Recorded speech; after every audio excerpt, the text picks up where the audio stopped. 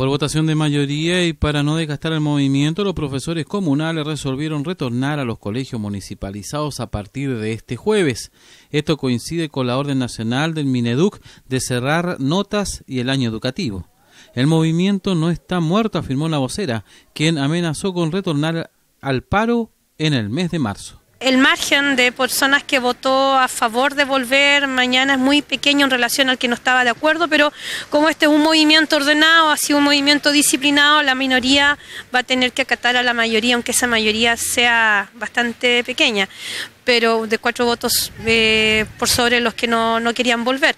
Pero tenemos que considerar también que es necesario un cambio de estrategia a esta altura del año para no desgastar el movimiento.